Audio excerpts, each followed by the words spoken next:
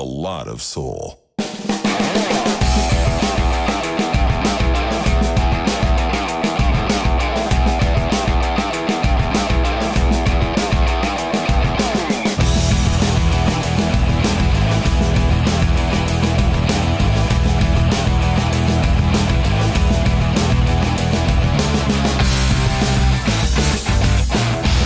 Маш их баярлж байна. Одоо догтлоод 2000 2003 4 онд зургатаар нөө сургууль төгсчөөд ирлээ гэд тэгж яхад тарж исэн.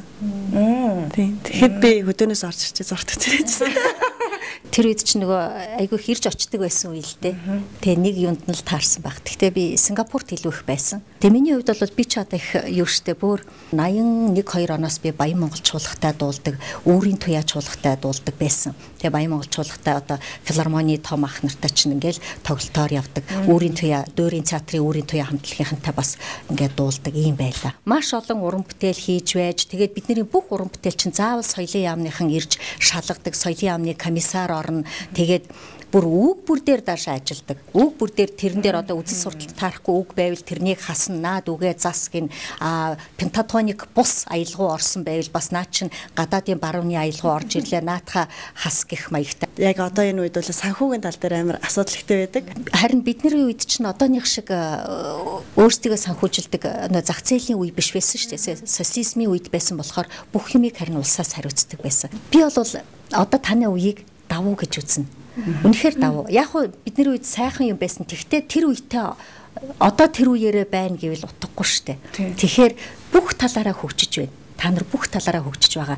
Даашаа одоо та нарын дуулах арга барил те дуулах техник хүртэл биднэрийнхээс бүр шал өөр болж байгаа. Энэ айгүй давуу тал. Ишээ гоё төгс болоод энэ төгс төгөлдөр болоод. Тэгээ би одоо чамаас асууя. Мэдээ ер нь ямар яг жанр стилээр илүү дуулах сонирхолтой вэ? Янз бүрийн жанрт үнэхээр сонирхолтой аль талаас нь өөр зохих стилийг сонгоод дуулж үзнэ гэж боддог. Яг хүмүүс бас ингэж алддаг шүү. Янз бүрийн надад бол жанр хамаагүй янз бүрийн жанраар дуулна гэж энэ бас жаахан учир дутагдaltaй шүү мэдээ. За юу.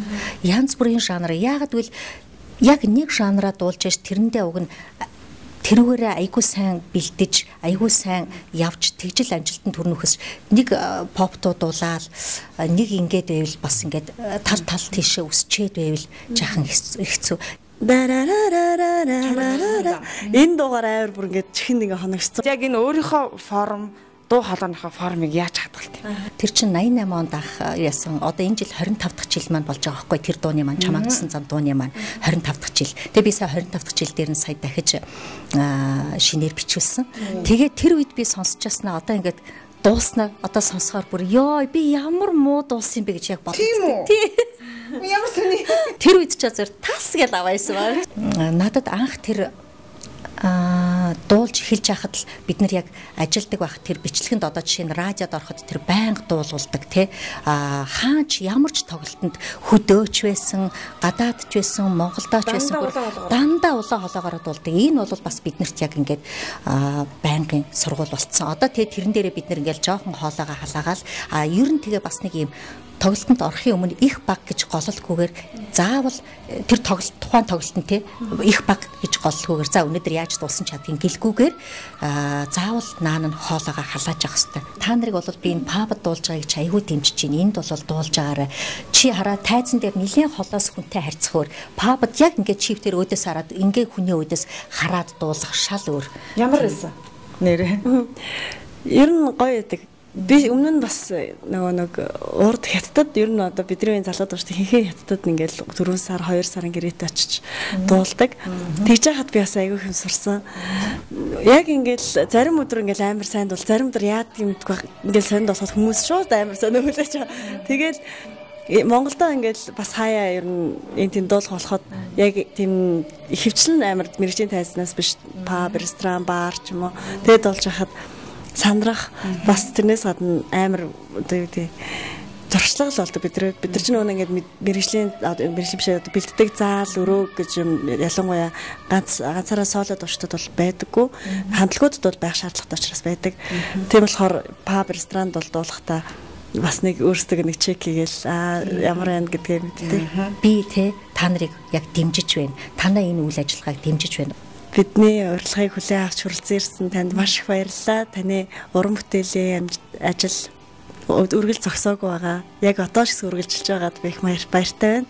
Бид намайг дэмжиж бидний төсөлд хангаад сандраад байна уу? Сандраад би амар сандраа. Амар баярлж байна. Амар амар л. Шгэ бас яг тийм сандраад байгаа нь мэдгээд дуулахтаа ч гэсэн бас жоохон сандарсан уу? Би ер нь амар сандраа ш. Айгу заримдаа 5 6 үг нийлүүлээд нэг үг болгож хийж.